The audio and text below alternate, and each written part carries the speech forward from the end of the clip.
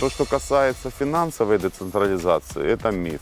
Миф. То, что касается децентрализации как таковой, объединения территориальных громад, это происходит.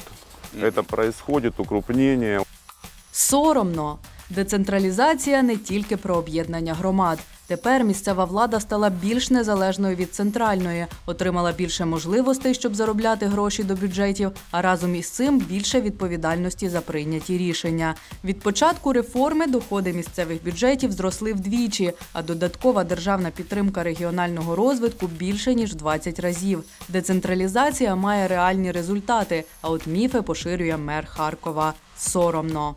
Хочется сказать, вам мало Порошенки? Вы мало э, поиздевались над этой страной? В три раза мы стали беднее, Соромно. З 2013 року втричі знецінилась гривня, а не українці стали втричі біднішими. Наприклад, реальна зарплата впала майже на 25%, переважно через інфляцію, а не курс. Але до початку 2019 року вона вже перевищила докризовий рівень. А ще кандидат у мери столиці чомусь забув і про війну на сході та анексію Криму, і про те, як до 2014 року Україна позичала десятки мільярдів доларів тільки щоб тримати курс, а не розвивати економіку, і про падіння цін на наш експорт. То невже у всьому винен лише Порошенко? Соромно. Но эти деньги все уходят, э, скажем так, властным людям, то есть тем, которые сегодня сидят в Верховной Раде, кто должен принимать те законы, которые мы говорим, в Кабмине. Это же деньги не уходят работягам завод или там крестьянам, которые сейчас пашут землю, правда же? Соромно. Пропозиція Краснова відвертий популізм, який не має нічого спільного з реальністю. Держава має забезпечувати не тільки селян, робітників чи іншу цільову аудиторію кандидата на виборах, а й потреби всіх українців. Тому доходи від митниці і від будь-яких інших держорганів йдуть до державного бюджету. Звідти на медицину, освіту, дороги, соціальні програми тощо. І до речі, крістіян в Україні немає щонайменше з початку ХХ століття. Соромно. Ми пам'ятаємо, що зелена влада після 12 місяць, після 12 кварталів поспіль зростання економіки, які відбувалися при п'ятому президенту Петру Порошенку, довела економіку до падіння ще задовго до ковіду. Соромно.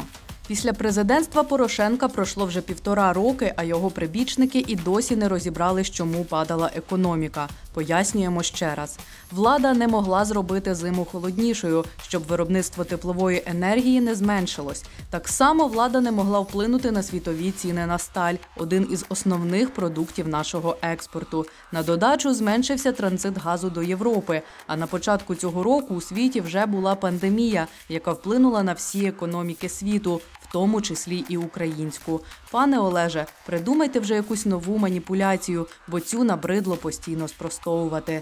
Соромно. Э, ну, есть газ собственной добычи, и его цена одна, есть газ э, импортный, который мы покупаем из России, чтобы нам не говорили там про Словакию, никакой слова, это просто реверсный газ э, российский мы покупаем просто дороже. Соромно. Реверсний газ не російський. По-перше, він перестає бути російським, щойно його оплачують, і він перетинає кордон. По-друге, Словаччина може перепродавати Україні газ, що походить з будь-якої країни. Майже п'ять років Україна не купує газ у Росії, але Микола Скорик досі у цьому сумнівається. Соромно.